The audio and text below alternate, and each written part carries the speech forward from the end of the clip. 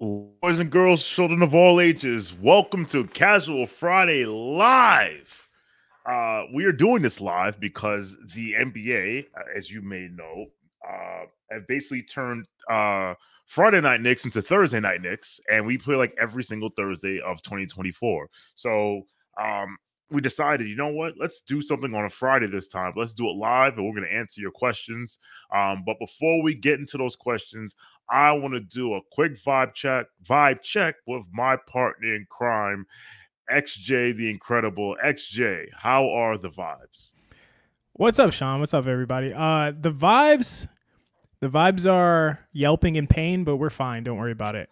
Um, the vibes, the vibes say to do, don't listen to how we sound. Just trust us. Everything's okay. I, I I'm honestly, I'm feeling good. Um, you know, the Knicks have won two in a row. They should have won two in a row playing really, really bad opponents, but I'm happy as long as OG Anunoby is in the lineup. So the vibes are always good. Um, you know, I'm I am concerned from what we saw last night, uh, what we saw late last night. For those of us who stayed up to watch it, we we heard a lot of painful sounds. We saw a lot of painful gestures.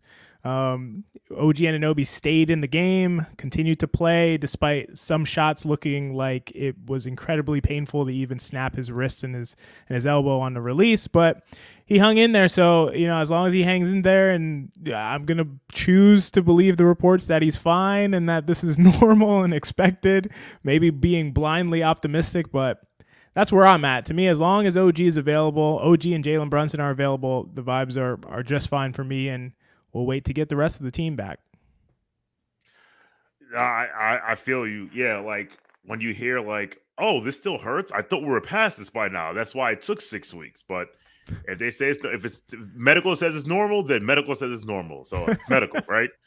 Um, for me, the vibes are anxious because for me, at like we're just like after so long, we finally got one of the two guys back in OG. Um, you know, we've all been trying to play like doctor, not doctor, but like, yes, we're actually playing Twitter doctor. Like, all right, well, he'll be back. When is he be back? He'll be back. He'll be, oh, he'll be back in a few days. In a few days turn into two weeks. Into a few weeks turn into a month. Uh, I had set a line, the over under for uh, Mr. Anunoby at St. Patrick's Day, and I set the line for Mr. Randle at the first of April. Uh, the uh, we hit the under on OG. Hopefully, we hit the under on Julius and Mitch. Honestly, whatever you come back, you let it like that's up to that's up to you because eh, feet for big man are not to be messed with. So the last thing we want is a re-aggravation of that. And yep. Isaiah Hartenstein's holding down the fort. So the vibes are anxious because we, we just want to see what this team looks like for longer than 30 days. So Yeah, I like. I mean, I like your. I like your uh, your lines there. The, clearly, the St. Patrick's Day line was incredible because I thought OG would be back much sooner than that. So you had the right amount of skepticism there. Um, but yeah, I like the lines. They sound good. Oh, oh, I set that line in late February. Like when it was as soon when it was like I'm not gonna act like okay, you know, Super Bowl Sunday. I said, oh, it's six weeks. It, will be St. Patrick's Day. But yeah, oh, after like you it was like probably like the last week of February. I said, you know what? It's probably St. Patrick's Day. Now, if you want to give me credit for Julius Randle, April first, that's fine. We'll see if that we'll see what that happens. He's, clearly, he's practicing. He's taking light contact, but um, yeah, I just we just, I just we just want to get our guys back, and hopefully we hopefully OG won't be yelp yelping in pain. Although it's hilarious, someone tweeted that OG will yelp in pain and then use that same elbow to do a reverse dunk. So it's like Yeah, that's probably a good sign if you can just be in that much pain and just like play through it anyway and do incredible things. I mean, imagine if he had no pain, it'd be pretty much unstoppable. So um, Absolutely. Yeah, he's borderline that already, as we've seen in the two games that he's been returned. So we'll see. Uh, I feel confident about Julius Randle more than I have at any other point this season. Just hearing that he's doing, you know, individual work. The the Begley report is doing individual work and um, shooting, can do everything. Light contact with pads just needs to be clear for full contact. So the April first line is looking good too for that. We'll just see. To me, the biggest concern, the biggest Julius concern is if he comes back, gets dinged up a little bit, and then gets re-injured. That's I, I believe he's going to come back. I'm just not confident he won't go away again. yeah, so we'll see what happens. Um, and if you're wondering where the third member of the casual crew is, Mensa, uh, Mensa got fired yesterday on his day off for stealing boxes. So Mensa's no longer with us. Um, if you know, you know where that reference is from. All right. No, Mensa hopefully will be joining us short, shortly. You know, life be life. And um, but listen, with that, let's get to some questions. So this is again, this is a mailbag. This is a mailbag. Ask us anything. We're gonna ask them um live. We're gonna ask them, answer them live. And um, all right, let's first question is from the Craft MBA. Hey, it's DJ from KFS. Hey, I know that guy. Uh, what is the better outcome for New York? A, stay in the 4 5 and have home court versus Orlando, but in the Boston side of the bracket, or B, mm-hmm. drop to six and play Cleveland without home court, but not see Boston until the Eastern Conference Finals. DJ, this is an amazing question because I actually thought about posting this question as a poll a few days ago. Um, like what would be better? So uh actually I will yield to you first unless you need some time to think about it. What what would be the better outcome? No, I need no time to think about this. Uh, I would rather drop to six and play Cleveland without home court advantage. Not a difficult question for me. A really good question, but not a difficult one for me because I think it really depends on what you want. If you want to advance to the second round and you want to kind of be quote unquote guaranteed to advance to the next round, then you probably would want to stay at 4 or 5, have home court against Orlando. I think the Knicks would probably be like 70 30 to win that series, maybe even more. So if you want to be like really assured to advance to the second round, then you probably want that outcome. For me, I want to see how far this team can go. And to get to the Eastern Conference final, it's going to require not playing Boston in the second round of the playoffs. So to me, that like it, this this question is saying, would I want to guarantee for a second round appearance, um, or would I want to a guarantee for a second round appearance and a guarantee not to make the Eastern Conference Finals, or would I want to have a chance to make the second round with a chance to make the Eastern Conference Finals? And I'd rather have a chance to make the Eastern Conference Finals any day of the week, especially with the squad that the Knicks have this year. So uh, it's pretty easily for B for me. But it's a really good question. Thanks for uh, for that question, DJ. Yeah. So I so it's funny because I was in I was on the part of the Hoop Spaces daily show on on playback early this week, and I was in there for guys. Shout out to my man Salty Magic fan, and he was talking cash. He was talking real, real quick. Cash. That's his that's his name, Salty Magic fan. Yes, that's his name. He's on Twitter, Salty Magic fan. Okay, um, got you. oh, no, I didn't. I didn't call him Salty Magic fan. I thought you were just calling Magic. him Salty Magic fan. no. um. no, um, he's salty Magic fan, and he was talking cash shit before we played them and held them to 74 points in a game. Um, and then afterwards, he was like, This doesn't matter. He's like, No one's scared of the Knicks, yada, yada, yada. And I told him, Salty, you're the team that everyone in the Eastern Conference wants in the first round. yeah. Boston, Milwaukee, New York, Cleveland, Philly, Indiana, Miami. Miami. Everybody wants you. Like it's like it's like they say in poker. Like if you're sitting at a poker table and you're trying to find a sucker, you can't find it within 15 minutes. You're the sucker. It's like, you, Orlando. it's you. Um. Uh, with that said, part of me is like, you know what? Like, I'm gonna lean towards the, the six because having the home court against Orlando, I mean, doesn't matter because we're gonna have home court anyway, whether we're the four or the five, because it's in Orlando, and I think we will take care of them. Um, but like you'd rather you you would rather avoid Boston at all costs if you can, especially listen, what if they're what if what if um somehow Milwaukee drops a four and then takes them, or Cleveland drops a four, or not Cleveland, um, Milwaukee gets the four or something like that. Like, you know, things can happen. Um, yeah, but Cleveland clearly we are we're a bad matchup for them. Styles make fights. So I don't think we need home court advantage to beat Cleveland because we didn't need home court advantage last year to beat Cleveland. And we are a better team this year. And they're they are while they are better this year, Isaac Okoro can actually hit open threes now. Um, Sam we saw in person. If you leave him open, it's a problem. Um, but not no no no no I don't care. So because either way we are either because either way we're you're not if you whether you're four, five, or six, you're not gonna have home court in the second round. So get yeah. get to get to round two, then you most likely get Milwaukee, and I would love seven games in Milwaukee where they don't where where Malik, Malik Beasley doesn't turn to Klay Thompson. So just imagine, That's, Sean. Imagine uh, Mitchell Robinson getting healthy just in time to start a Cavaliers series.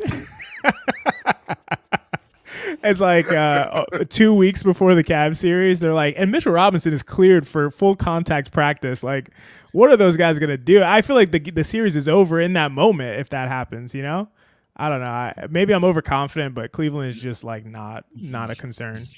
You should be overconfident. You have every right to be overconfident. So, um, listen, they they did it to themselves. They absolutely did it to themselves. Um, all right what we got here next? Let's see here. Da, da, da. Let me go here. All right. So thank you, DJ. Appreciate it. Next, Ben Kim Gervy. What's up, Ben? Uh, we spend a lot of time describing players in terms of their averages, but far less describing their variability. Is there variance that out there? I will yield the floor one XJ. Yeah, because this this is your this is this is your wheelhouse, buddy. Go ahead. No, it's so funny. It, shout out BKG. It's so funny that you're asking this question, Ben, because I was just talking to my buddy Jeff about this very question. Like, I was like, is there a publicly available variance stat, especially for three point shooting, or do I have to like hand calculate variance? Which apparently there's not one. Neither of us could find it. Doesn't mean there's not one, but if he didn't know and I don't know and you don't know uh, BKG, then I'm assuming there's not one. And that's unfortunate because variance is really important to look at. And I think that it matters a lot because when you get into a playoff series, that's where it really show, shows its head. We have a seven game series, let's say. We don't really want shooters who where it's like they could shoot 25% for the series or they could shoot 50% for the series unless we're the clear underdog. So against Boston, you probably do want that because you want a guy who's like, hey, if he gets hot at the right time, he may heat up and could help us win a series that we weren't expecting to win.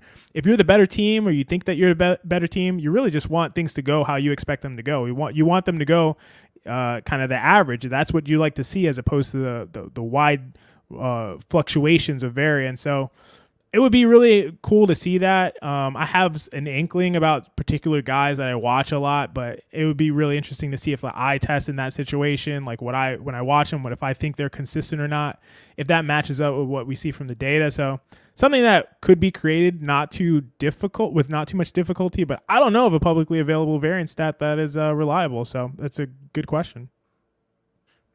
Great question. I mean, not that I'm the not that I'm an analytics guru, but like there's just so many things that's hard to measure, right?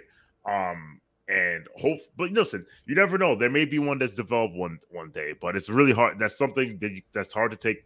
It's it's hard to account for, but you know that's part of what makes sports sports. It's the it's the variables, it's the uncertainty, right? So um, maybe someone will figure it out. Who knows? And if they do, they'll make a lot of money. But until then, you know, it is what it is. To be clear, Sean, they won't make a lot of money. I gotta say, they'll they'll they'll get a lot of uh, likes on Twitter. They will not make a lot of money off of it. But well, what but, if they sold it to like a Second Spectrum or a uh, or or the the league or something? That's what I mean. Like not like yeah, I got like you. If yeah, so um but I, I, yes, but if yes, but if someone says, "Hey," on Twitter, "Hey, I created a stat variance," you'd be like, "Get out of here, nerd!" Whatever. yeah, so, exactly. That is what would happen. BKG, thank you for the question. All right, next from Buzzer Beater. Oh man, should we jettison Burks and Bojan and add Mook? I'm assuming Mook is Marcus Morris. Um, we should not do that because players signed now are not eligible for the playoff roster. So, yes, we would sign Mook and maybe he'll help us come off the bench do some stuff. But then when it comes to playoff time, we'll have traded two players for one, and then that, and then basically we we would have traded two players. We'd be down three. We'd be down three guys in the playoffs. So um, we cannot add we cannot add Mook. But in a in a in, in let's let's answer this question if there was no such rule. XJ, would you jettison Burks and Bojan for um, one Marcus Morris once a Knick, always a Knick? No, it's a it's a valid question because of how bad Burks and Bojan have been, but but definitely not for me. Um, I Marcus Morris hasn't or wasn't good this year. I know he was dealing with like injuries, like some foot injury stuff. Um, but oh, on the net, he was pretty bad this year, and I think we'd probably see some similarities to what we're seeing from like a Alec Burks, for instance, a guy who's like you really just want him to spot up in the corner, but then he's kind of trying to do too much or may go away, or if his shot's not going down, then he's pretty much useless. So um, I am not the biggest fan of kind of the Marcus Morris type of situation. I, honestly, his best years, his best year as a pro was the year he played for the Knicks and the Clippers, and he had a solid year the year after, and then kind of went off on you know precipitously after that. So I'm not a big fan. Um, think he's 34 years old. Uh, yes, he's 34 years old, going to be 35. So I, I'm not too much into it. At the same time, I still have faith in Bojan. I'm not going to say too much about Burks because I'm not sure I have faith in Burks, but Bojan Bogdanovic, I still have faith in. Bojan Bogdanovic is going to hit shots. I, that's a big thing that I I really am preaching. I'm very intrigued about lineups that feature Bojan and OG without Burks in them because I think that OG can potentially help mask a lot of the defensive deficiencies that Bogdanovic has. But as far as shooting, having those two guys in, in the corners is going to be deadly no matter what, no matter who he's out there with. We don't think of Deuce McBride as like a playmaker. We don't think of necessarily even like a Donte DiVincenzo as a playmaker, a Josh Hart. But if you have either either one of those three guys, if OG and and Bojan Bogdanovic are both in the corners, and you're running spread pick and rolls with those with any of those um you know primary initiators in that situation, if Jalen Brunson's on the court, you're going to have a lot of space to work with because Bojan Bogdanovic is going to make threes. I just want to say really quickly for the record, Bogdanovic's three point shooting the last several years 40% from three, 41% from three, 39% from three, 39% from three, 41% from three, 43% from three, 40% from three. It, this guy, he's going to make shots. He's just going to. That's just just the reality. Um, and I think he'll turn it around because he's going to be put in better situations to really accentuate his skill set, which is hitting open shots, corner threes above the break above the break threes. So I, I would stick with him. I'm not I'm not out on Bojan yet. Burks, don't ask me about Burks. I'm sorry. yeah. Um. Uh. GMAC tweeted yesterday or last night. Uh. Uh, hell happened to you, Burks. And I just retweeted it with the dude saying, Detroit basketball. Like, we need, like, I don't know how Alec, my man. I don't know how many showers you have to take to wash this thing off. I don't know. Like, but please, like maybe need a different soap, maybe like a tea tree oil soap, a peppermint oil soap, or something like that. Like, um, to Bojan, and I guess this kind of uh, this kind of uh relate to Burks as well because um I remember because you know we saw like Burks was doing very well in Detroit from a you know statistical standpoint. Um, but I always remember uh years ago, this is like 20 years ago, when um Glen Rice, uh Glen Rice was went to the Lakers from I forget either the Hornets or the Heat. I think I think it was the Hornets. And my friend Dorian, big Laker fan, and they're like, "Oh, we got Glen Rice because Glen Rice was average like 22 points a game." And he gets to LA and he can barely score. And my friend is like, Yo, I don't understand this. Dude's a bum. I don't understand it. How come he's like, he was 22 a game over there? How come he can't, he can't hit the brush up? He can't hit nothing. And my other best friend, Allie, was like, Well, when you go from taking 25 shots a game, 20, 20 to 22 shots a game to like 12, like, what, like that, like, when you miss your first three shots, but you know you're getting 20, it's like, all right, well, I'm gonna get 17. When you miss your first three shots and you're only getting eight, it, it can affect it can affect you because you don't you don't get that you don't get that you don't get that time. I think that's what that could be what's affecting Bogey to a certain extent. Burks, I, he's is he just going through a slump? Like I, I remember uh CP and Alex from Knicks Fan TV had a back and forth about it on their post games, and Alex and CP's like he's just in a slump, and uh, Alex was like, "Nah, this dude isn't good," and he's like, "Just give it time," and time is passing. But then again, I, is he gonna break out of his slump getting five minutes a game?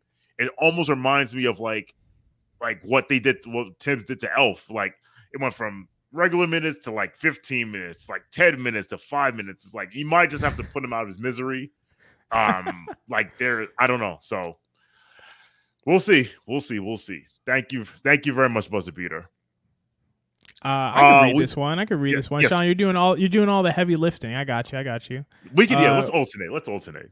we, we we got the super chat from this guy this guy named andrew claudio uh appreciate the the the co- contribution andrew claudio casual friday on an actual friday let's go wow you know what for some i'm so dumb i didn't even think about that. Like it is actually a casual friday that we're recording uh a, a live on a friday. Normally we record casual fridays on a thursday so you know it feels good. It feels good to actually be here on a casual friday with you, Sean, missing Mensa, but hopefully he joins us any minute now and, and we can get going full force.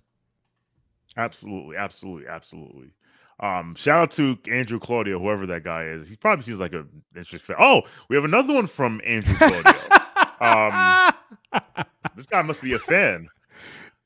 Important questions for both. I was gonna say, wait till you read it. Important questions for both of you. In your expert opinions, rank the following. yeah, this is the question the of the night. Detroit artists: Dilla, Eminem, Dr. Dre, Quentin. I mean, okay. yeah, you go first, Sean. You go first. Okay. Um so I would rank um I, in terms of artists, I would rank J Dilla one, Eminem two, Quentin Grimes three, and then Dr. Dre not applicable because newsflash, Dr. Dre is not from Detroit. But if he were, So I just there's a world because well there's, there's actually two Americas that are probably not gonna know what this reference is. All I'm gonna say is if you want to go get informed, just go to Twitter, type in the search bar Dilla, see a tweet with a ton of quote tweets, an article with a ton of quote tweets, and that'll fill you in. There you go. Yes. Um, yes. So yeah, shout out J Dilla, may he rest in peace. Um, but would you like to rank these Detroit artists, uh, XJ? Yeah, I want to say, I want to say, um, there's got to be a loophole here because Dr. Dre is Dr. Dre like an honorary Detroit artist for finding Eminem? Uh, I don't, I don't know. um, Not a bad. That's not a bad, not, not a bad shout. Um, I would say between J Dilla and Eminem, that's kind of tough to me. I honestly, I I probably go J Dilla. So I I used to produce music, um, hip hop, and I started doing like I started out doing like kind of like boom bap type sample type beats. So I, you know, J Dilla is a huge influence. Obviously, I remember getting like a J Dilla drum kit and just going crazy with that and being like, "Yo, this sounds so fire." So I it's a, he's a huge influence on me generally, but also you know Eminem is Eminem is is is Eminem. So, um, but I would probably say for that reason, I would probably say J Dilla, Eminem, Quentin Grimes probably have like your same. Is that the same ranking that you had, Sean? Yeah. All right, we, we we're probably on the same page. Um, with Dr. Dre being an honorary uh, Detroit artist in this case. Um, good question. Shout out to Dr. Dre. David Crockett, Royce the five nine better than all of them. GMAC, huh? Royce is really good, okay. and, and honestly, Royce's like recent, more recent work has elevated him a lot more and got him a lot more prestige. So I, I think his longevity is kind of really impressive and underrated. I think, but I don't know. I don't know. This is all tough for me. I, it's hard for me to say Royce is like way better than both Dilla and Eminem. That's kind of that, that's pushing it for me. Well, I mean, uh, so I mean, Dilla was more of a a um as a producer. so- yeah, yes, as I a mu- as a yeah, so- musician.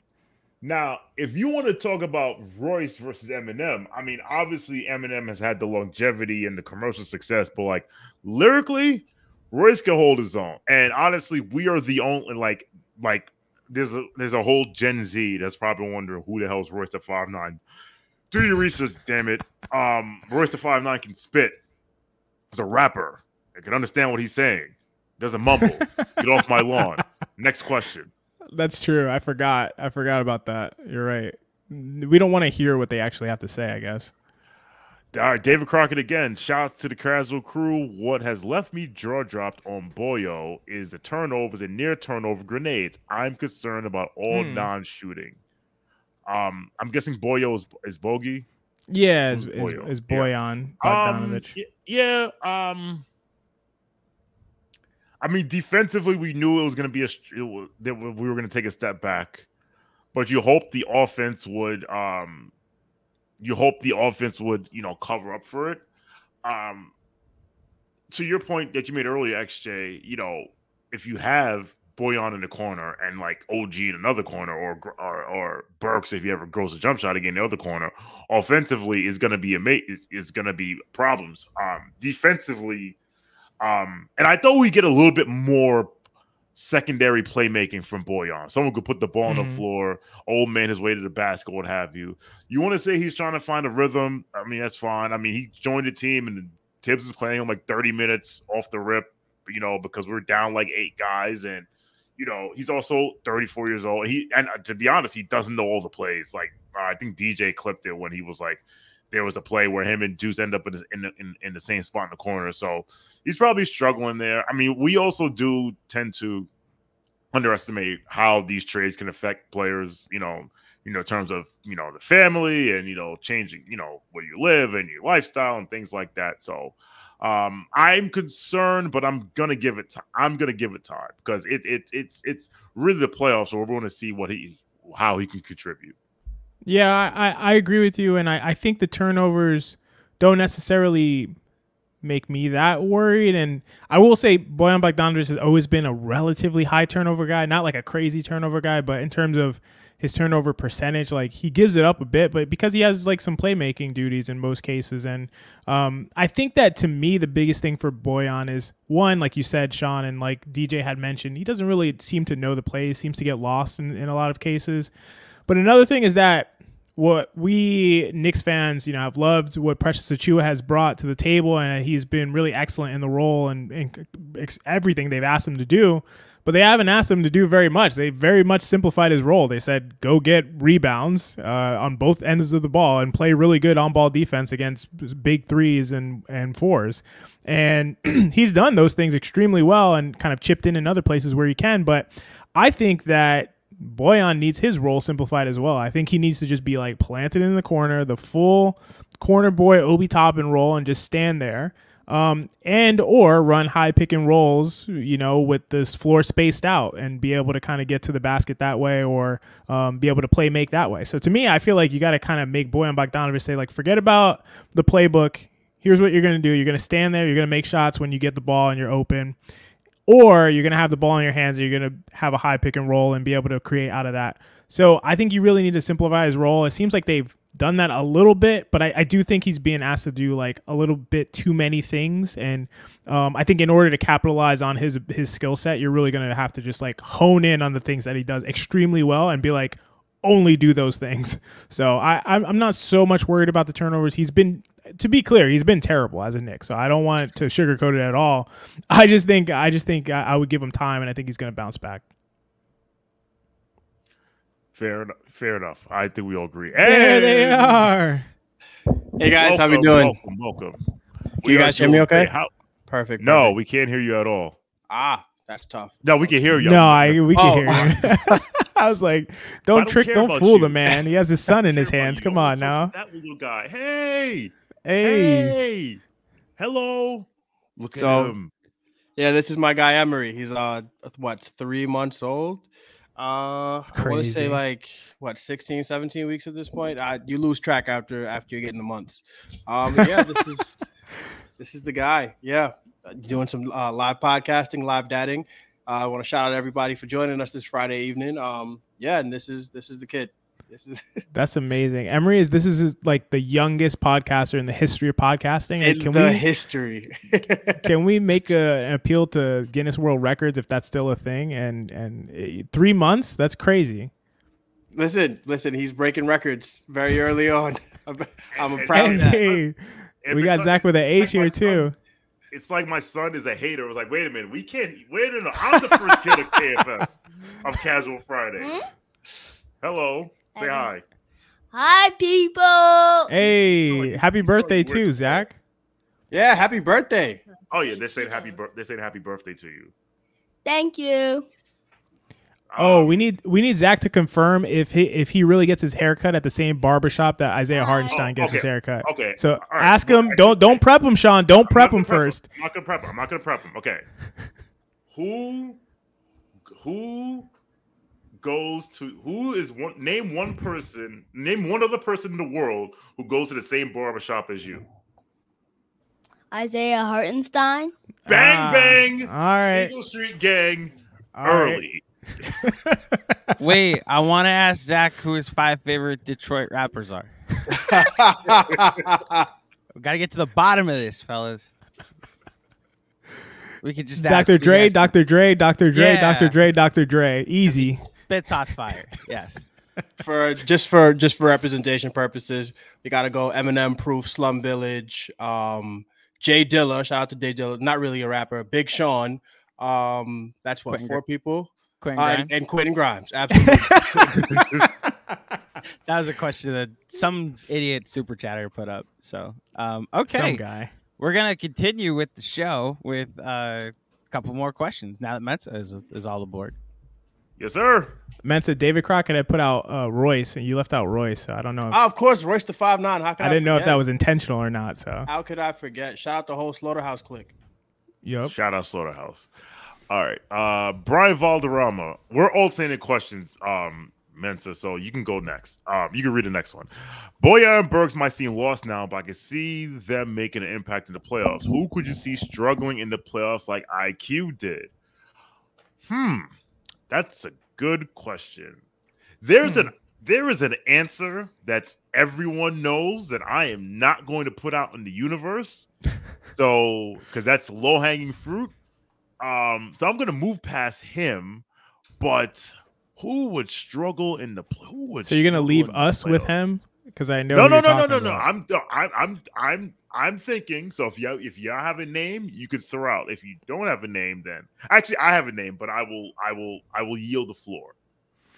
So I, if I'm thinking about the playoffs, I'm gonna assume the Knicks are healthy. So I think uh, hopefully that's that's the assumption going into it. So I I was gonna say a name, but I don't think this that player is gonna play very much. The name I was gonna say is Precious Achiuwa, and I'll just say it because if he, if he does play, and I think that there's a potential for teams to exploit him as a rim protector. Um, I think we could see that happen if he plays. You know, eh, let's say Mitch Mitch is not back and he plays a lot of minutes behind Hartenstein. Um, I like Precious at the five over Precious at the four, so uh, that's really I, I'm very clear on that stance. But at the same time, I do think there's a potential for him to be exploited at the rim. Um, and if they play him at the four, I, I think that that's that's a disaster waiting to happen. So I, I feel like depending on how the rotations are, it could be Precious. I'll I'll just say him for now, but. I'll Yeah. go next. Um, Okay, Oh, go ahead. Go ahead, Mensa.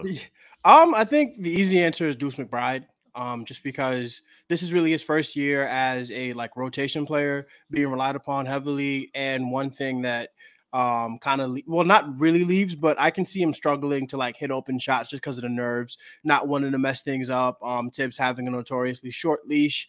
Um, I can see Deuce McBride having a bit of struggles the same way IQ did, had some struggles, you know, as um young guard. Um, the one difference is that IQ was relied upon to create, and I don't think Deuce will have the same creation duties. He'll really be more catch and shoot and uh, defense. So um, I don't think he's as likely as IQ was, and I didn't even think IQ was likely to struggle. But um, that's that's who I would lean is Deuce McBride, just because you know, easy young guy, um, relied upon, and he's definitely ahead of um Alec Burks in the rotation. So we're gonna need him to stay there. Um, but uh, that's why I would, if anybody, I would have to say him, Deuce McBride. To to your point, real quick, Mensa. He also we did see him struggle a little bit making the shift from the G League to the to the big leagues. So there we have some evidence to say that like kind of moving up a little bit in terms of intensity, he he, ha- he has struggled with his shot in those circumstances. So it's a good call. So the person I was gonna go, I'm gonna go with is Josh Hart, but it's for these reasons. 44, 41, 41, 40, 47, 45, 43, 42, 43, 39, 41. Is My that his three point shooting percentages? I wish. if they'll if they'll if that was his three point shooting percentages the last 11 games, that would be amazing. But unfortunately, those are the minutes he's played the last 11 games. And my concern would be that he may be wiped by playoff time. That's my only concern. Um, and I'm surprised no one took the low hanging fruit and said, um, number 30 from the New York Knicks, Julius Randle. Um, but we're we we're we don't lean into narratives. Well, we lean into certain narratives, but we're not leaning into that one. We like to give the benefit of the doubt. So, uh, thank you, Brian, for your question. Emery, you can read this one. All right. Oh, uh, for oh, the actually- kid. actually, no, I'll read. I'll I'll read this one. You can get the next one. This is CT Pittman. Uh, here hashtag here we go as shown for W. Uh, hashtag here we go. That is the uh hashtag of the Pittsburgh Steelers. Um, because CT Pittman, who's been a long time supporter of Knicks film school, we love him very much. Even though we love him, he hates himself because he roots for the Pittsburgh Steelers. So he's here celebrating the fact that his team thinks they're going to return to glory by signing a quarterback that was washed up two years ago, Russell Wilson. But that's neither here nor there. So, um, good luck going nine and eight again next year, CT. I love you. All right, we'll go to the next one. Thank you, CT. So just CT, I'm which I, I like that was fun and that banter was like great, and you guys back and forth is good, good natured. I just speak on behalf of Mensa. It could always be worse. Yeah. Um, you said that he um he hates himself for rooting for the Steelers. Um, you're to- I'm a Jets fan. Uh, It could if, always if he be hates worse. himself, then um, Yeah. I must have the lowest opinion of Your quarterback isn't running for for vice president, so there. Okay. I, Russell Wilson might not be able to scramble as much as he he used to, but he also didn't have to ask AI to write an apology on Twitter yesterday. Okay, we can continue. I, I will say it, it, this sounds like the old adage of is it better to have loved and lost than to never have loved at all? Like the is it answer better- is it is it's better to not be a Jets fan. the answer, the answer to every part. question, I think. By the way, I didn't say y'all didn't hate yourselves. I just said he, CT Pittman hated himself. All right, Right now I hate everything, Shaw. All right, next up. Okay, Go ahead. Fargo Tufo, thank you for the contribution, my friend. Um, why don't I have anything to do better to do on a Friday? Um, I personally think you're doing something great because there's this really cute baby on screen. And yes, sir. He's very awesome, as you can see. um, so yeah, you could be doing a lot worse things than looking at awesome, cute babies uh, wearing orange. Um, but yeah, no, we're, we're grateful that you're here. Um, there, I'm pretty sure there are a billion Twitter Spaces or a billion podcasts that you could be listening to. But you're here with us to talk basketball about the New York Knicks at a really pivotal juncture for the team. You know, guys are getting healthy. Um, there's so much. There's so many good things to talk about with the New York Knicks. Um, if it was like 2019 or 2018 and we were discussing the merits of playing Kadeem Allen or like signing Elfrid Payton, then all right, I would agree with you. But talking Knicks on a Friday night, not the worst thing you could be doing in the year 2024.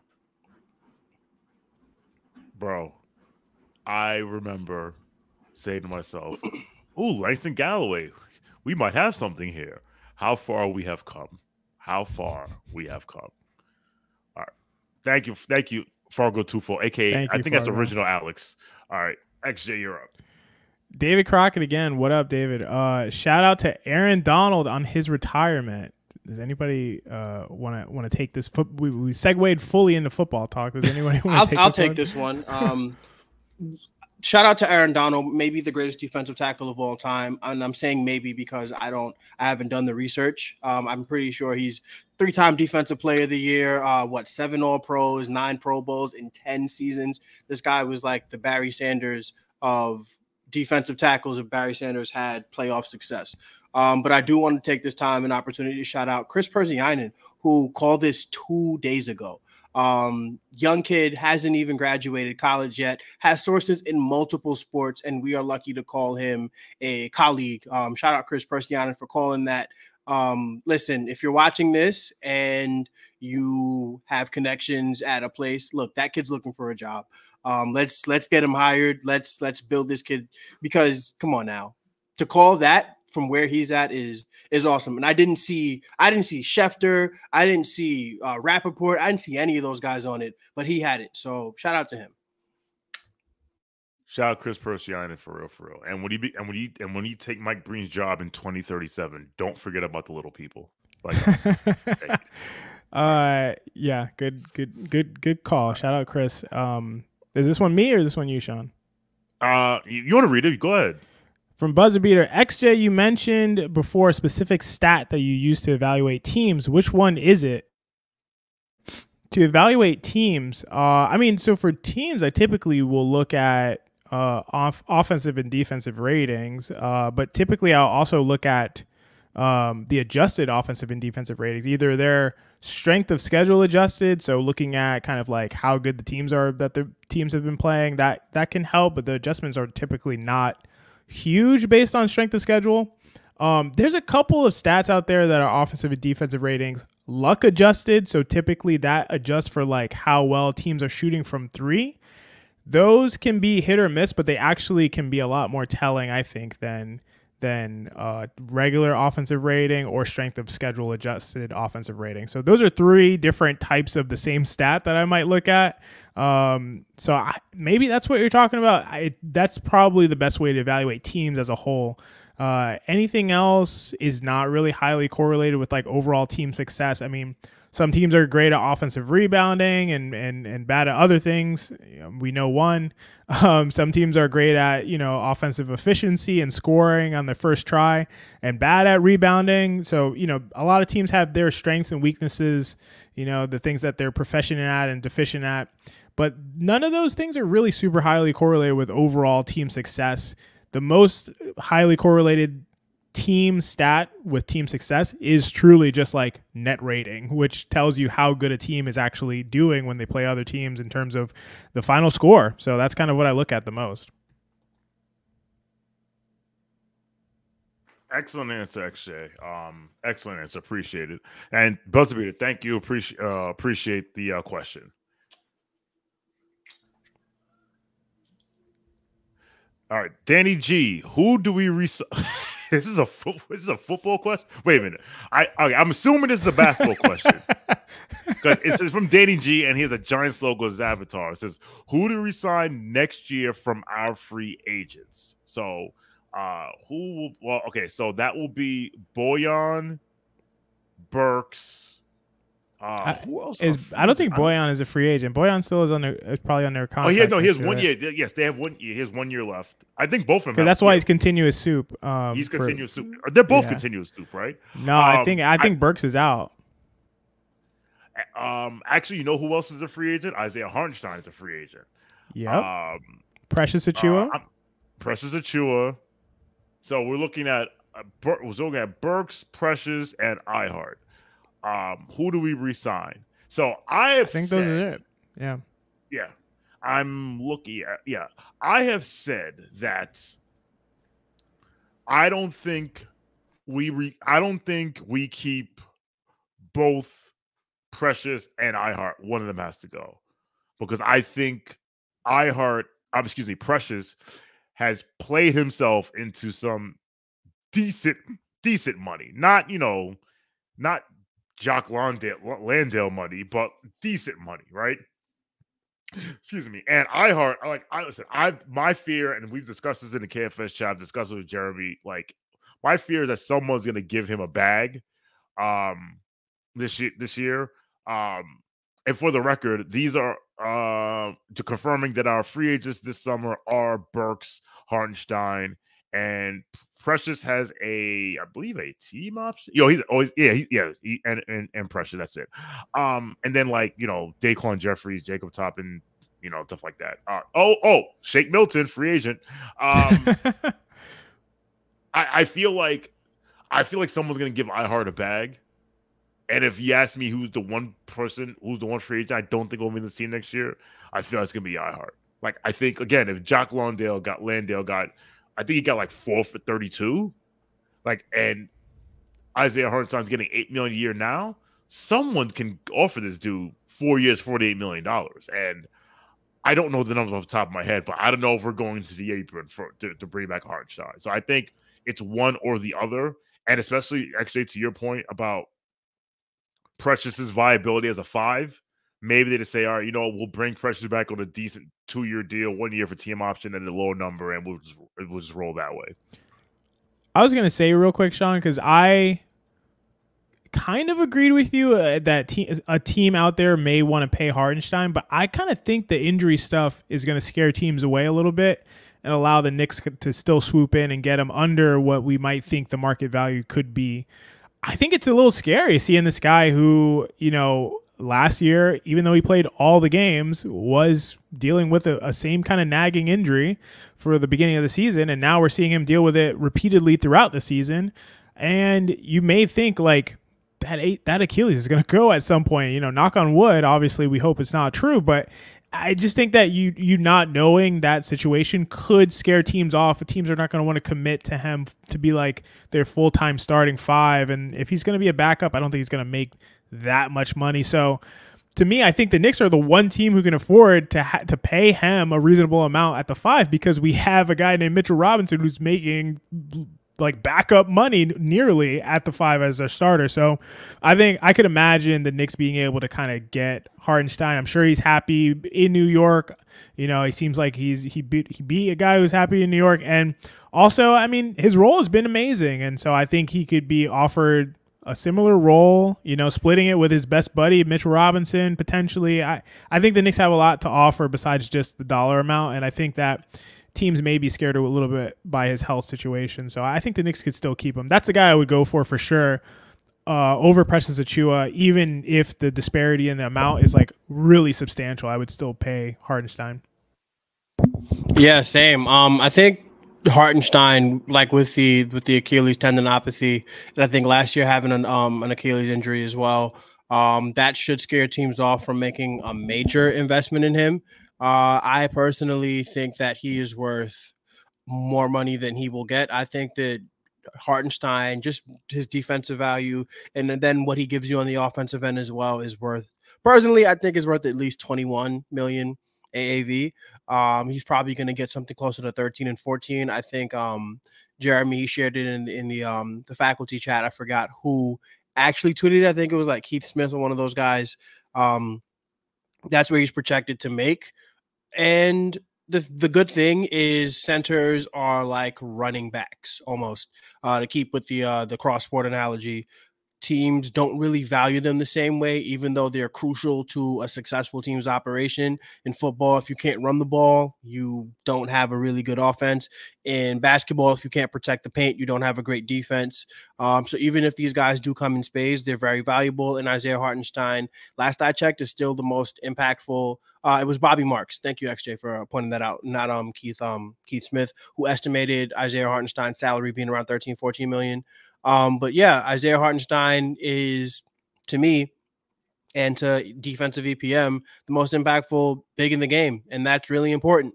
So um, I love personally. I think that his he's invaluable. With um, I, will keep saying it. DiVincenzo, Anunoby, and Hartenstein are the the best trio of role players in the NBA. Um, and I'll and I'll continue to say that. I don't think that it's even close at this point when you really like look around the league. Um, he's the one guy that I could see them bringing back for sure. Another guy, uh, Precious Achiuwa, absolutely. Um, Alec Burks is as good as gone. Um, Bojan is not. Yeah, so it's really just those, just the centers. I can see Achiuwa coming back on a really like a really team friendly deal um, especially because he hasn't had success in the league. Um, he played for he played for Spo, didn't have much success. Played for Nick Nurse and uh, the the new guy in Toronto. Now he met Thibs, and you know he has a role here. And even if right now he's just a middle innings reliever, maybe he might be a more impactful offensive player by next season. And just sticking in New York, he um, grew up in the Bronx. He's Nigerian um, by passport, I believe. So yeah, I'm just really those are the two guys that I can see it. Um, Isaiah Hartenstein, um, around uh 14 to 16 million um average annual value, and um Precious, I can't see Precious getting more than three to four million dollars on the open market. So he'll probably take that to stay here. And the last thing I want to say about this is this is New York. This is a contending team, and it's New York. Um, I can't drive that home. These guys are in a big market and they're on a winning team. It's going to be hard to take our free agents away from us for a team like uh, Detroit or a Charlotte or a San Antonio. they're gonna have to blow the doors off because they're low, they're they're much smaller markets and they're um, rebuilding basketball teams, to put it kindly. Absolutely. Um, the one counterpoint I would say to teams being scared off of Isaiah Hartenstein's injury issues here is that they'll say, well, our head coach won't play Isaiah Hartenstein 29 minutes 29 minutes in a row. So maybe if we manage him better, it'll be it'll go better. Um, but um, really quickly, there is one other free agent uh, that we forgot. That is OG Anunoby who has a player option for this year. Although I am pretty damn certain that he is going Yeah. to opt out because he knows there's a deal waiting for him on the table. So if if now that dude ain't on our team next year, oh boy. Um, just want to give a big shout out to the over 680 people rock with us on a Friday night on what is a very nice day in the New York metropolitan area. Actually, I don't want to hear it. The weather's always nice there. Shut up. Not Um, nice. it's 90 degrees today, guys. 90 degrees. It's not nice. It's getting too hot, but continue. Bro, listen, man. I, look, I'm supposed to go to uh, Austin for work next week. I want it to be 90 because there is a pool at the hotel that I'm staying at. So let's get it. Let's go global warming. All right. Next up, uh, Mensa, go ahead, knock yourself out. All right, BKG, thanks for the contribution, my friend. Um, always love to see you active in the KFS, um, chat and everything. Happy to, to to be doing this with you tonight. Um, okay, so let's read your question. Who do you see as the weak link for Boston? How do you think we should go about taking advantage of him? Why isn't your answer KP and attacking him to get in foul trouble? That was actually my answer, but because you said it wouldn't be my answer, I'm gonna have to say that the weak link would have to be their oldest starter when everybody's healthy and that's Jrue Holiday. He hasn't been himself or the Jrue Holiday that I remember as recently as last season. I don't have the stats in front of me, but out of all those guys, like Derrick White's a machine, uh, Jaylen Brown playing really well. I don't have to talk about Jayson Tatum. He's um not an MVP candidate, but just right underneath that. So maybe like a Devin Booker level player, even like maybe a Paul George, like a top uh 12 to well, top like 16 to 9 guy in the league.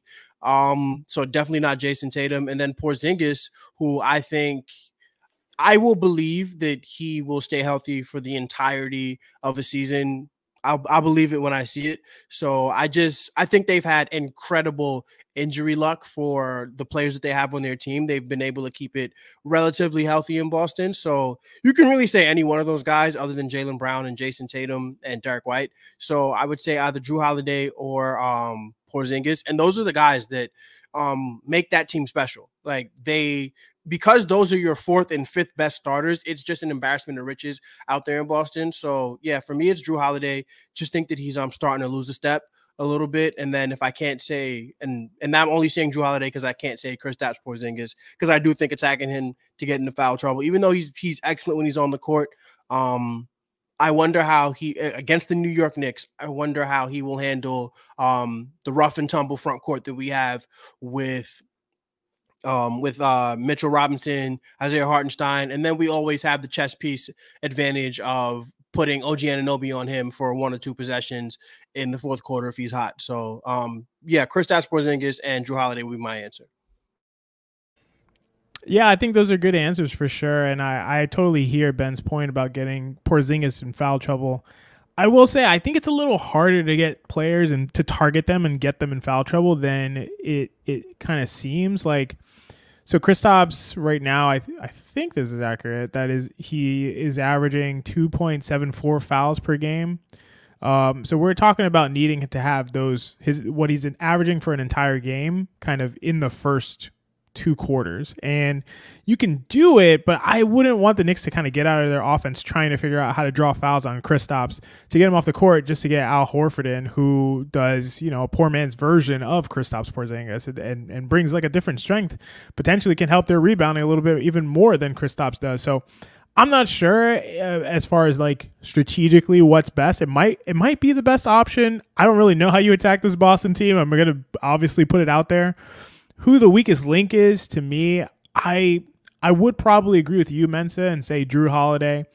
The only thing about Jrue Holiday is that this year he's also like shooting the best of his entire career, which is really frustrating because he would have been the weak link, but he's also shooting 44% from three. It is actually in the 98th percentile in shooting percentage in the NBA right now.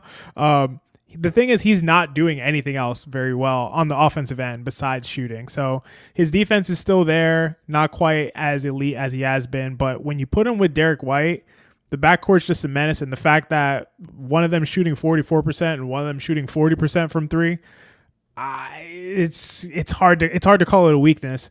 Um, and then Jaylen Brown, who used to be my go-to for this for this question, has been probably playing the best basketball of his career recently. So um, he's become almost elite from the mid range. He is able to kind of pick up the slack when Tatum's not playing well. So I don't have a good answer. I mean, it's got to be the weak link has to be the weak links, which is their bench all, all, overall. So anytime Payton Pritchard's in the game, anytime Sam Hauser's in the game, um, you got to take advantage of those guys and just hope that you dominate them in those minutes and then try to play them even in the other minutes. But tough to say who like a leak link a, a weak link is for that Boston team. I figured out who the weak link is, but I'll let Sean jump in. So for me, the weak link is not one person, but it's their depth. I don't. I, I I like to say that the legacy of the 2011 Miami Heat was that you can't win a championship of eight guys, and Payton Pritchard, Sam Hauser. Yes, if you leave Sam Hauser open, it's a problem. You know, we'll hit shots, but like Xavier Tillman, Luke Kornet, uh, Al Horford, who's again who played in the 2007 NCAA Men's National Championship game. Um, I think it's the depth. I think it is if if if if Joe Mazzulla can't trust those guys to provide quality minutes, then it's going to be a lot. There's going to be a then it's going to be a heavier burden on the Jrue Holidays, who's been around a while, on the Chris Porzingises, who again is not necessarily most sturdy when it comes to health. Uh, that's why I think that's why I think the the weak link is their their depth or lack thereof. So to quote um Knicks um Knicks fan Kendrick Perkins, if you put Joe Mazzulla's brain in a bird, the brain the bird might fly backwards. Um so I'm gonna have to say the weak link is gonna be in a in a playoff series is gonna be Joe Missoula. He will likely be the worst head coach um pretty much in any series I can think of. Like if they get Miami in the first round, um Spo is a better coach than Mazzulla. Um, if they get us in the second round, Thibs is a better coach. Even Doc Rivers is a better coach than him, unless they somehow play. Um, I mean, Bickerstaff is even better than him. Like, I can't think of a team. I can't think of an action like a, a realistic matchup where the Boston Celtics will have the coaching advantage. And does that matter a lot? Obviously not, because they're the best team in basketball. But um, that, that I think that would be their weak link is that you can you can count on, well, not count on, but you may have an opportunity where you see if the Boston Celtics lose, it's because they were outcoached by a better coach than Joe Mazzulla. I, I want to ask you about that because I, I actually think Mazzulla's. Uh, it's funny because I'm you and I agree a ton, Mensa. I think Mazzulla's a really good coach. So I'm I'm curious what makes you feel like he's. I, I, I think in the past he's been bad in terms of his clock management and in strat like in game um, strategy and, and kind of adjustments. And I think he's improved a lot over the course of like just this season. And I, have always been a fan of his like philosophy. Obviously, they take a million threes and they have a five out offense. And I, I love that he's always trying to keep Kristaps close to the rim, which I think makes a ton of sense. And, and they do a lot to make that happen. Like even we've seen some of the strategic things that they've whipped out with like Jrue Holiday playing on Embiid or playing on Jokic, you know, like different kinds of things that you'll see him go to as he's, you know, just develop more confidence over his time in the NBA. So I feel like this was the answer last year, and this year I feel completely differently about it. So I'm not sure if if that you would agree with that, or you think that like he's still showing those same signs as he did last year. Yeah, I mean the the Mazzulla thing is just grasping at straws, to be honest, because there's no like to his credit, he's coaching the best team in basketball. Um, a lot of that has to do with the talent. He has a bunch of talented guys on his roster, but he's even been able to mitigate like the um the the decline of a Jrue Holiday by putting him in a system where he's shooting a career best from three, right? So Mazzulla's been coaching really well, but it is um the thing about the playoffs is a lot of things that work in the regular season don't necessarily work in the postseason, not because that you don't have good ideas, but how many good ideas do you have? Do you have the ability to respond to another coach's um another coach's adjustments, right? And Joe Mazzulla just being um basic, he's still like what in his he's in his second year as a coach, right? Um, look, sometimes you get lucky and you get a guy like Steve Kerr who can win a championship in his rookie year, but that's not everybody, right? Um, so with Joe Mazzulla, the reason why I say he would be the weak link is a lot of people do like you like the strategy, right? With the the shooting three pointers. A lot of people see the value in it, but also see like, hey, at some point the shots aren't going to fall and who are you then? And that i feel like that's where people are starting to um like look at Joe Mazzulla and say, "Hey, what's going to happen when you're in a dogfight and your guys aren't shooting threes? Are you going to be able? Is Jayson Tatum going to fall back into his bad habits? Are you going to coach him out of those bad habits? Are we going to rely on Derrick White? Are we going to rely on Jaylen Brown? And I think just because there's so many unknown answers in terms of Joe Mazzulla as a head coach in high leverage moments, and we saw him struggle mightily in those moments. Um, like there's the the, just the I, I forget how long he went in a in a playoff game last year. I think it was like Eastern Conference Finals where it was like a, a crazy run and he did not call a timeout. So the um the clock management issues are very real and and, and they will be until they're not. It's a lot like um Julius Randle, right? Where we don't believe in Julius Randle as a playoff performer until he does it in the playoffs. Same thing with Joe Mazzulla. Um so there's a lot to be encouraged about with the Celtics and I want to be very clear. The Celtics are the prohibitive title favorite for a reason. They are far and away the best team in the league this year, and everybody gets credit for that. Um, from Joe Mazzulla all the way down to everybody in that starting five, even the depth player players. Um, a guy like Sam Hauser isn't Sam Merrill, but he doesn't need to be Sam Merrill. He just needs to be good enough, and the Celtics have been awesome. So the end, the real answer to the question is the Celtics don't have a weak link, unfortunately. But if I had to just to answer this question and not cop out, I would have to say Joe Mazzulla, just because of the playoff inexperience, and there's a chance that he's outcoached in every round of the playoffs. You know, there's a chance that Spo, Thibs, Rivers, um, I forgot, I already forgot the guy Malone, or even um, who can I see Mark Daigneault playing really well? I know you're really high on Daigneault. Um, and what's the other guys? Lue, Tyronn Lue. I can see all those guys. Like, I don't know who I would take um Joe Mazzulla over in that sort of um as far as like a coaching head to head. So I think he would have to be the weakness because the players are excellent and we the proof is in the pudding on the court. If he gets out coached by Doc Rivers in the playoffs, he needs to he needs to go back to be he needs to go back to the second row of the uh, of, of the coaches bench. All right. Um next up and shout out to now the over 720 people joining us. Uh really appreciate you rock with us on a Friday night. Um I forget who is next to read, so I think it's XJ. XJ, go ahead. Yo, Fargo Tufo, what's going on? As a fan, who are you rooting for in the play-in slash playoffs in the West? Assume standings end as they are today. Go round by round. What a fun question. We gotta we gotta go over to the standings here and, and I just see what wanna we got say- going on. Down to Dallas. Um, I need Dallas to lose as early as possible. So Yeah, all right. I so- agree. I mean, I think we all agree with that. All right. So if the season ended today, the seven eight matchup in the plan will be Phoenix would host Dallas. Um. Wow. Gotta root for Uh, Phoenix. I- So, rooting for so Phoenix. he's asking who we're root for rooting for. So, Oh, who we're rooting for? Oh, Phe- Phoenix. gotta root for Phoenix there. Gotta root Yeah. for Phoenix. Phoenix. That's neat. And in the 9-10, oh good God, this is TNT. Give The me- Point Lakers Warriors. They're gonna love this one. Give me Steph. I'm gonna take Steph too. Yeah. I, yeah. I'm sorry. I know everybody. I know it's cool to hate on the Warriors, but the Warriors have been one of my favorite teams ever. So, um, gotta go with Steph Curry. It's Same also here. cool to hate on the Lakers. Um, so I will I will join you all and root for the root for the Warriors because actually, you know what? I'm rooting for the Lakers because these Warrior fans need humbling. Because there is a ten, there is a there And a- Lakers is- fans don't. Okay. Yeah. yeah. Oh,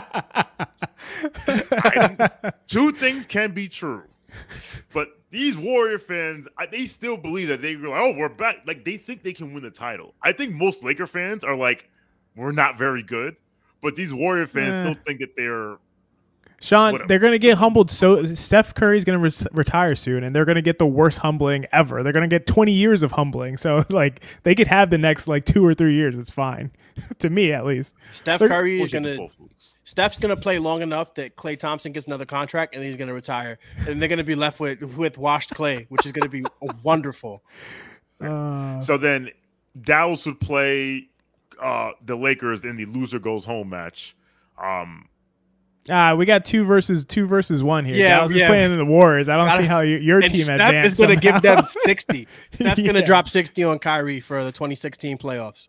I This would be- agree. Yeah, all right. So then in the 1-8 would be would be Thunder Warriors. I'm rooting for Thunder. You guys know Thunder is my team in the West. I'm rooting for the Thunder all the way. I just love how they play. Five out. The, the SGA style is unique, n- n- like nothing we've really ever seen before in terms of his ability to get to his spots from the mid range and get to the rim at will. So, yeah, I got Thunder in that series. I'm cool with that. I'd root yeah, I'd root for Thunder also. Um 2-7 will be Denver hosting the Suns. Suns. I'm rooting for the Nuggets. Give me Denver. Give me Jokic, man. Jokic, baby. All right. The, the and also, it'd be just 3-6 fun to watch KD lose again, again. it's just too and then, funny. and But then ask out again. All right, and then the three six would be Minnesota host and hopefully uh Kate, Cat is back by then, hosting the Sacramento Kings. Like the And beam, I'm baby. rooting for the Kings. Like the beam. Like the wow, beam. Like the you guys are both Like on the, damn Kings. team. Yeah, Yes. I'm not an ant, I'm not an ant guy. I'm a I'm I'm I'm probably gonna go down as a career ant hater, and I'm okay with that. Um, but also they they have a guy on that team that I think would fit wonderfully with the New York Knicks, and I need them to lose as early as possible. So give me give me the Kings. I'll rock with you guys on that. I'm fine with that. I like how the Kings play. I, I like Sabonis. I think Sabonis is great. Fox is great. So I, I like it. And if the Timberwolves go out in the first round with um Michael Jordan Jr., Anthony Edwards, we are going to start a dialogue. And then in the four five, uh Clippers Pelicans. See, Give me the I kind of want to root. Shout out to Rel Myers, big Pel- big Pelicans fan, host uh, Rel, uh host the Pels and Whistles podcast, has own website relmyers.com. Part of me, see, as a Knick fan, we we the, the Clippers are kind of like kindred spirits in terms of like the garbage that they went through, like you know, rooting for that team. So part of me would root for the Clippers, but if the if the Pels get through, it'll be nice. But I, I'd root for the Clippers. And, and Ka- Kawhi's argue my favorite favorite non Knick in the league right now. Really, I didn't even know that. Yeah, Any interest in potentially the Knicks pursuing Paul George if they get knocked out early? Is that something that is on people's minds, or is he just too old? We're we're off the Paul George thing. If we can get him at a decent number, but he's going to um he's going to ask for a large number and knowing that somebody is going to give it to him. So Yeah, that's fair. Yeah. all right. Uh, so just really quickly, I just want to um, I don't like so I don't really want to see the Pelicans be successful ever, and it's, it has nothing to do with it has nothing to do with the city of New Orleans. There's nothing to do with Zion, Bi, any of those guys. I actually really like the team that they've assembled down there. Love that they found Herb Jones with the 35th pick in the draft. Um, what in the 2021 draft? Um, really good stuff there. It's just the Pels are cheap, and I don't like when cheap owners are rewarded with Amen. success. Um, they because honestly, it would be fun to watch the Pelicans win a playoff round and see what um their ownership group does because they've literally never paid the luxury tax and kept these guys together. So um they would have they're they're faced with really tough decisions this offseason and I just don't think they're gonna do right by their fan base. So until they get a new owner, I'm not gonna root for the New Orleans Pelicans. Fair enough. All right.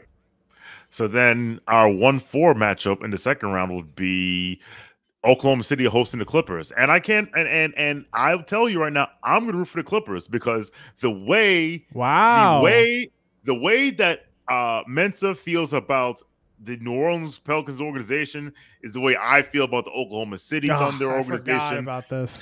Originally, well, first of all, they should still be in Seattle. So let's start there. That's number one. number two, that team needs rebounding, and they have 139 first round picks. And they said, no, we're good. We can't like if this is the one time you were able to overpay for a player and did not bite you if the player doesn't work out. But you know what? But the genius Sam Presti, and don't get me wrong, it's a very good, very good team executive. Um, Hall of Fame team have- executive, sir. when you have the opportunity to take when you have the oppor- when there is an opportunity for you to like make a deal that could pos- potentially position yourself you should take it because remember there's the same oklahoma city thunder team that was with with three mvps and they were like oh they made the finals they lost they'll be back I want to say, I want to say, I got to say this. It's okay to change your position, and we all can change our positions from time to time.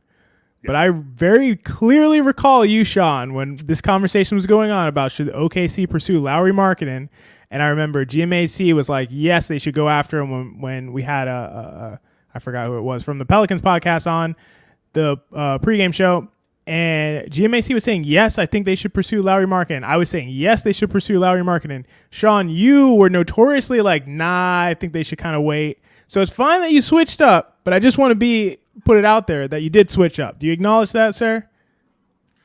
are you trying to put me on trial here sir Is this is this Nick at night? Uh, what is it called? Knicks at night court. Love Nick it. at night Night court. what I would say is no, the Lauri thing because Lauri, okay, if if you're Sam Presti and you go to Danny Ainge asked for Lauri Markkanen, and Danny Ainge is like, hmm, you got a lot of picks over there. I'll take seven, and then we can talk. I well, that I wouldn't do, but they needed a big. Daniel Gafford was right there. They could have traded a first. They weren't going to get Daniel two- Gafford, man. That could- doesn't fit. The, it doesn't fit what they're trying to do. absolutely they need rebounding. They need so it does, feel what they they need size. Well, listen, listen when they get when when when when when Zubac crushes them on the boards of the second round, we'll come back to this conversation. Fair enough. Fair enough. All right. So you guys got you guys got the Clippers advancing. It's two against Yes. one. Clippers advance. Yeah, I'm then- I'm a closet Harden fan, so um I want to see him I want to see him break the narrative the same way you wanted to see uh Jokic break that narrative XJ. I want to see um James Harden crush everybody's narrative and then it also helps us because it makes Daryl Morey look like an idiot. So I definitely wanted I'm rooting for James Harden's success. I, I'm all about my agendas. You guys know that. Absolutely. All right, and then in the two, th- the well, not the two. I was gonna say the two three, but since we had the Kings beating the uh, Timberwolves, Nuggets, uh, Nuggets, Kings. Thank you, Sacramento. It's been fu- it's been fun. Time See say ya. Okay, and then Jokic moves on. uh, and then we have the rematch of the 2020 Western Conference second round series, aka the Paul George hit the side of the backboard series, the Clippers versus the Nuggets for the right to win the Western Conference. And listen, I have a future on the Denver winning championship, so you know where I'm you know where I'm leading. I mean, I'm on the same page. I, I don't know. This is gonna be tougher for you, Mensa. I, I'm a, I'm you. You all know I'm the, I'm the biggest Jokic guy or one of them, Mensa. You're, you, you were up there with me until this decision, so I'm not sure. I look, I think Jokic is going to go down as a top 12 player all time. Um, I think he's well on his way there. He's going to get his third MVP this season. I think that's pretty much all but locked up. Um, but I like the Clippers, man. I really do. I like the Clippers a lot. I don't know who, honestly, like, I don't know who I would root for in this series. Um, I know both of you guys want to go with Denver, so I'm just going to not be a contrarian and I'll say, I'll say Denver. I'd like to see uh, Jokic get back. Well, actually, let me say this. Um, my rooting interest is for parity, and the NBA has something really cool going on where we've had a different championship every year going back to 2019.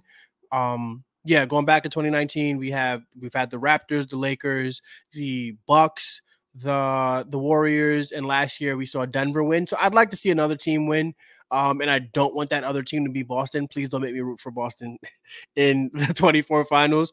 So um, yeah, I think here I will go for the Clippers, not just be not because I don't like Denver, but because I'd like for us to have a chance that we get another different winner, and it doesn't have to be Boston. So I'm gonna root for the Clippers here, even though obviously it doesn't matter because both you guys are going with Denver. The only thing is for the Knicks to have the most epic title run ever, we're gonna We have to beat beat the Nuggets, though. That's the thing. Like we're we're gonna You have to beat, the chip? You gotta beat the chip. we got to we got to beat the Heat, Got to beat the Celtics. Who else? Who else would we have to beat for it to be the most epic title run ever? We don't have to beat anybody. It I'm has saying been for it to be 50 epic. It, For it to dude, be we can play Florida State in the finals. It's gonna be epic. It's New York. What would I know, but 55 years. Legendary, legendary. XJ's point, give me give me Miami in the first round. In the Mhm. second round, I want Cleveland so we can put those moist boys back in the be- in their bed. Um, give me give me Boston in the conference finals, and then yeah, I think I think you got to go through Jokic. Beating gotta- Jokic. That's it. the black Jokic versus the actual Jokic. Oh my goodness, let's do it. Let's do it. That would be the best. Like honestly, like you wouldn't be able to talk. I would be blocked on Twitter by Elon Musk. I would be that annoying um, for the rest of like my life if the Knicks beat all those teams in one postseason. Like for uh, oh my goodness, Jalen Brunson, we would be he would have a bronze statue outside his home by before he got home from the parade. It would be it would be amazing. It'd be there. It'd just be there waiting for him. For narrative purposes, I'd want Indiana in the first round. Ooh, for how'd I the, forget? all the all the te- all the people in our fan base that was twerking for Halliburton, um, present company excluded. Um, don't don't side eye me, Sean. Don't say, just I- just I say didn't my name, I- man. I didn't, brother. You, brother, you I don't- not alone. yeah, They- I don't I don't think you're a Halliburton twerker though. I ain't twerking Like, for you're not a Halliburton. I don't no no no like like No, no. like the Halliburton twerkers are like the people who like bleed orange and blue and were like arguing that they would rather have Halliburton over Brunson. Like even if you privately believe that, bro, like don't put that on Twitter. Like come on, like it, it it's like the people who like it, Hey, there I was never- a lot of weird stuff going on. I there. never said they should draft Halliburton over Obi Toppin, so I'm definitely ain't twerking for Halliburton. So. You're not. Listen, you're not. A, you're not. A, that's why I said present company excluded because like it's not you. Um, but yeah, let's put him in a spliff. Um, but don't worry, Hal. You always have the IST. And then I want Miami round two. then I want Boston round three. Um, and then you know. I don't want to place Jokic because you want to talk about put it. You want to talk about putting people in a spliff. Oh, Jokic! It's that it's not, like come on, like we nah, man.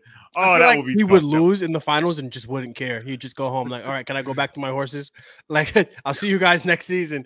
Um, who like what would be the most fun Western Conference team to beat? Honestly, the most fun Western Conference team to beat would be Dallas. That would be so delicious to send. don't want them to get there, But but, I don't want them there, but, like, Yeah. of all the Western Conference teams that I would want to beat, it would be the Dallas Mavericks in an NBA Finals. not not the Suns beating KD and Book. I don't know. It'd be a lot of fun. Beating KD. Would would be Being fun. KD uh, in the Garden Wow. With the That- confetti coming down in Madison Square Garden, and, That would be and KD is Michelin there in a star. loss. I don't know, man. Yeah, that would be that's- Michelin that's- star. That's a good one. All right. Alex, uh, well, original Alex, AK Fargo Twofold. That's an excellent question. Thank you very much. All right. Let's try and rapid fire these because I'm hungry. Um, let's see now. What is next? All right. Uh Anthony Sixto. Um re XJ's OG clone over Randle theory. When when Randle gets back, we can see if he's the key to unlocking bags and Burks, aka Birkin bag. OG is untouchable, but we need even more gravity versus teams like the Nuggets. So Anthony Sixto has put us in the NBA Finals this year. Um, but yes, uh, your your thoughts, XJ and Demento. Uh, yeah, I mean, I, I appreciate it, Sixto, as always. And to your point, you know, I I think that they both offer different advantages, OG and and Julius Randle, and I could see that. I could see Randle potentially being the key to unlocking, especially Burks. I, I agree. Um, maybe Bojan a little bit less because I, I, but I I can see him having this dynamic um, where they're kind of next to each other on the perimeter. Randle gets the gravity, tracks two, and then kicks it out to Burks on a wing or something to hit threes. Like I, I could, I could totally see that working. So I think it's viable, and I think potentially, I do agree that Randle is probably a better player to unlock guys like Alec Burks than OG Anunoby is. So I, I think this is fair. if you're giving me two OG Anunobys, one Mitchell Robinson, one Isaiah Hartenstein, one Deuce McBride, one Josh Hart, and one Donte DiVincenzo, um, we are the 86 Bears. I don't care about what the other team. I don't care what the other team tries to do scoring. Like teams are struggling to score 100 points on us now. You're giving me a second OG Anunoby. Like I, I I'm sorry. I just think offense is more important than defense in the NBA. There is no getting around that. That is just an absolute. Um, we know that because the most impactful players in the league, um, the most impactful defenders in terms of overall impact are not as impactful as the most impactful offensive basketball players. So while defense is essential, the more important of the two is offense. Um, with that being said, we would have oh my god two OG Anunobys. I I couldn't sign up. I couldn't sign up for that any faster. I'm sorry. Um, Julius Randle. Um, yeah, I can't even. I don't. Even, I don't even want to say like I love the guy because I don't really love the guy, but I appreciate the guy. I will say that appreciation. Yes, I, I absolutely appreciate him, and he's essential to what the Knicks are doing. But if you're telling me that I could have a second OG Anunoby, I could have like you're uh, like what? Our defense is already so great, and you're giving me another like you're allowing me to double down on my Anunoby. Like uh, I'm sorry. Um, it's it's just imagine Mensa OG OG Hartenstein.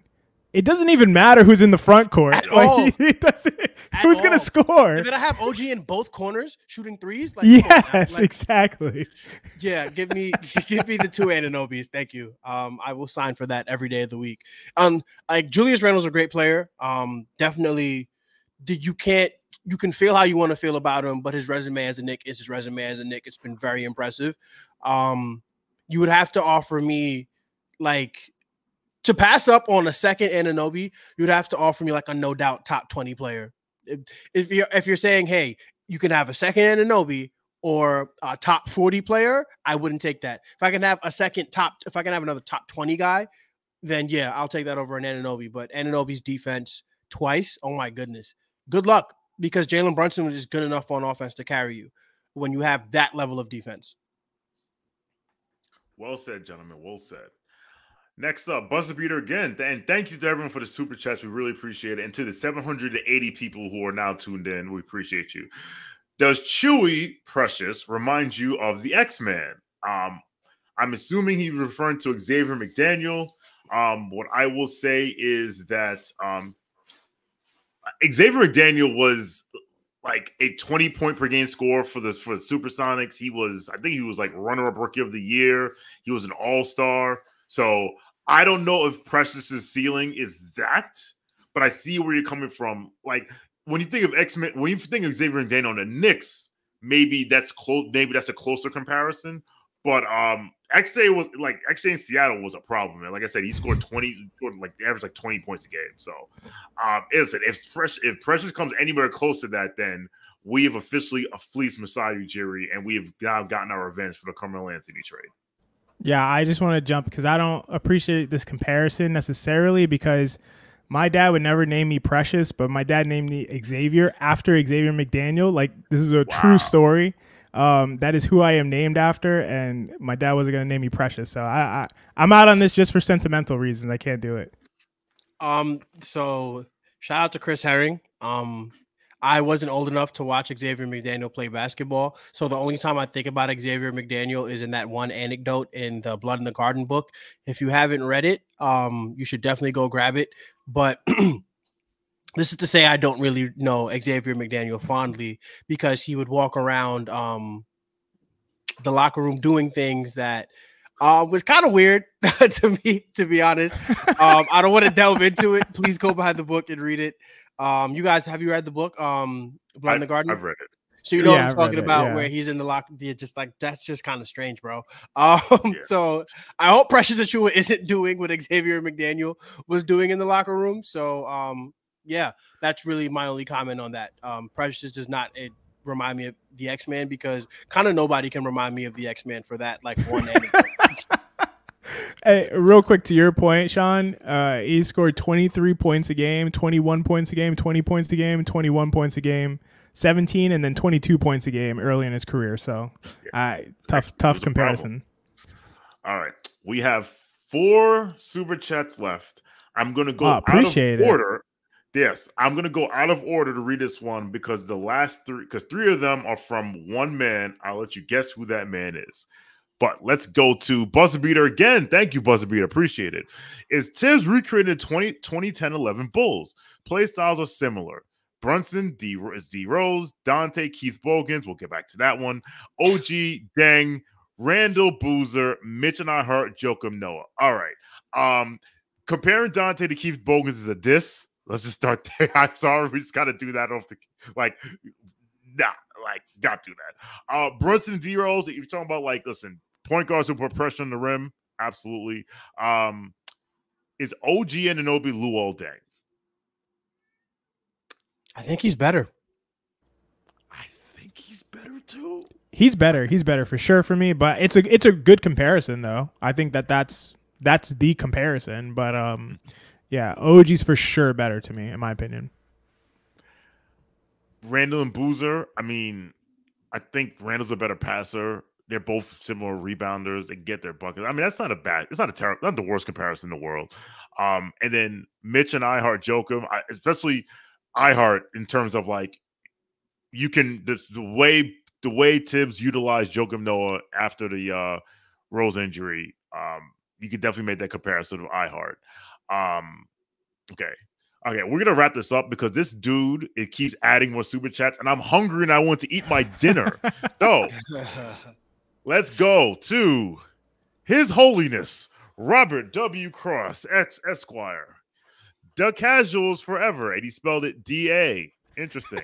Burks and Bogey are cooked. Deuce needs more minutes. Um, Agreed. I'm not giving up Burks and Bogey. Deuce does need more minutes. yeah, agreed. Um, Co-sign, but I don't think I don't think Bogey's cooked. I, I will push back on that. But yeah, agreed with the rest of it. All right, next. Robert Cross, XJ, the only Knick analytic I like. Feel free to take the IQ victory lap. Damn fools. Okay, take your victory lap, and I'm gonna push back on Mr. Cross after, after you take your I, victory I, lap. I'm not gonna I'm not gonna take a victory lap on IQ. I mean, IQ. Uh, one thing I'll say is that I do think to really assess IQ, we have to wait. And this is what I said in our faculty chat as well. I think we have to wait like 50 games into next season. It's just too early. Things are not settled in. Um, you know, RJ's in and out, um, and obviously praise to his family and everything too. Uh, you know, Scottie Barnes is out. They're, they're they don't have a roster. They don't really know what they're doing. They're trying to get Grady Dick involved. Like it's just, I they're they're they're kind of a mess. And everything's too fluid. I'm not gonna pause that by the way, um, Mensa, because I saw you smirk when I said when I said that name. Um, and uh, I'm sorry, I'm so immature. I apologize.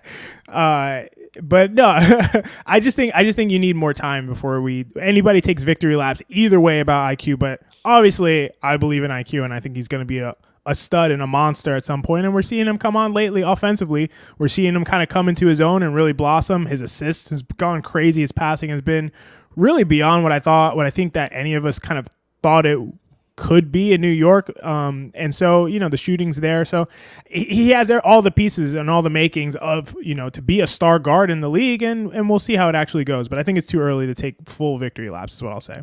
But appreciate it, Robert Cross. I'm, I appreciate the being the only Knick analytic that you like. um, Robert, if we still have IQ, we don't have OG. So keep that in mind. That's all I'm gonna say. All right, next. Oh, Mensa, do you have anything you want to add? yeah, um, you really can't judge IQ when they're throwing dick in the lineup the way they are. So that's all I have to say. That's all I gotta say, guys. Sorry, I couldn't resist. Sorry, guys. It's too much dick in that lineup, guys. I'm sorry. Come on, yo. Charlie, too much. I'm glad your son's not Someone's here anymore, Mensa, by the way. Jesus, man. Someone's gonna clip that, Mensa. Remember, like, you know, 20 23 years from now, Emery's gonna see this and he'd be like, "Dad, come on." All right. Um, next. Robert Cross again. And Robert, all jokes aside, thank you for the super chats and thank you everyone for the super chats. We really appreciate the uh the, the generous contributions. We should have re-signed X-Men. Instead, I literally pounded my fist through the floor with Charles Smith. Um, as someone who is who is of that age, I will completely agree with you. We should have we should have kept Xavier McDaniel. Maybe we beat the Bulls. I don't know, whatever. Because he was the uh Xavier McDaniel was like the uh like the Pat Bev of our team, but actually like good at better at basketball. I'm not gonna say good at basketball, that would have been a diss, but um yes, so there we go. All right. Two more because he just keeps throwing them. He keeps, keeps lobbing them up. Robert W. Cross is study hall this weekend, Sean. I can make myself. Robert, why are we having production meetings? You didn't- the production meeting through the super chat feature is is is tough, Robert. I love that. like listen me xj mensa and andrew appreciate the fact that you have paid to have a production meeting. Uh, let me finish the chat. I can make myself available early sunday am because i have to go to the flipping airport before dawn. All right. Um mr mr cross uh i am pretty sure that we have a rule that we don't okay maybe we can do sunday maybe we can do sunday May, let's maybe we could do Sunday. We'll we'll we'll be in touch. And last but not least, uh, I got more lateral movement in the kitchen to the fridge than Bo- Bogey does in the hardwood. Bogey would cook you slowly In the in the kitchen. hand tied behind his back. In the kitchen, From the fridge to the kitchen. we got to put more respect on ISO Bo's name. Um, the European Joe Johnson. We love Bojan Bogdanovic. Well, at least I respect Bojan Bogdanovic. Uh, he's just having a tough time, guys. Um, remember we remember all the things we said about Precious before he got it together. Um, I'm willing to give Bojan a little bit more leash. Uh, but also it, it just may he just may not be a Thibs guy, and that just may be the end of it. But I think that hopefully he rebounds because we're going to need that $20 million in the offseason to see if we can get something better for him. So um, while Bojan deserves all the smoke that he's been getting, I'm still holding out hope for him to get better. All right, and that is that. So everyone, thank you for tuning in. Um, if you're watching this video, please like it. If you're not a subscriber, please subscribe to Knicks Film School uh, YouTube channel. If you're listening on the podcast feed, please give us a five star rating on iTunes. If you can give us less than five stars, keep it to yourself, man. No, no disrespect, but just keep it to yourself. Um, as you've heard from Robert Cross, apparently we're doing study hall on Sunday. Um, so I'll let you know what time that's gonna be. Um, and stay tuned. Um, we have a. Are we doing? A, I don't know if we're doing a watch long tomorrow. I feel like we might be. I don't remember, but if we are, for our patrons, pull up. Um, and then obviously we'll, we'll definitely be doing a post game show tomorrow. I will be Um, on the post game show. Pull up to the post game show. Let's go. Let's talk right, to Bogus and Fox. Let's do it. Pull up to the post game show. XJ will be on post game tomorrow. Uh, Andrew and I will be doing so. There's a watch long on Monday for the Warriors game, and Andrew and I are doing the post game on Monday night for the Warriors game. So that's another late night for us. But hey, it is what it is. Um, and last but not least, I, I'll I'll say this, and I'll let you guys close out anything you want. I just want to say to echo it again. Um, thoughts and prayers to the family of RJ Barrett. Um, I can only imagine. I have a younger brother. I can only imagine lose, losing my younger brother when he was age 20. Um, I got my RJ shirt on today. Um, it's un- it's absolutely unimaginable. Um, so brother, take all the time you need. When they say one to Knick, always to Knick, this is these are the moments that are included. But we will still pray for you. We still love you. We still care about you. Um, so peace and blessings to RJ Barrett and the entire Barrett family. Yeah, definitely uh, agree with that. And thoughts and prayers to RJ Barrett and his family, whether he was a Knick or not, or is a random guy, or is good at basketball, or is a bust, or is any of that. That really doesn't matter at all. It's horrible to, to see any human being going through that. So definitely thoughts and prayers to him and his family. Yeah, for sure. Um, like XJ said, doesn't matter if he scored ten thousand points with the Knicks, does it, or if he never got in the game. Um, you never want to see tragedy like that. And again, just praying for him and hoping that um, in this moment he can have clarity, he can have some peace, and he can find some joy in the fleeting moments because I know how tough this is. So, um, yeah. With that being said, um, Andrew did correct us. There, it's the weekend, so there are no watch alongs this weekend. So, um, but yeah, you can definitely join XJ um on the post game please do that. Um it's the weekend you guys don't have jobs on well some people do some people do have jobs um to work on the weekends. Um myself included i work on saturdays but hey let's enjoy um and happy st patty's to everybody who um observes that's this weekend. Um and yeah we'll we love to do this with you guys. We'll be recording later on in the week and just continue to tune in to kfs for the the content that we push out every um every day basically at this point Actually, last word. Uh, Bogdanovic.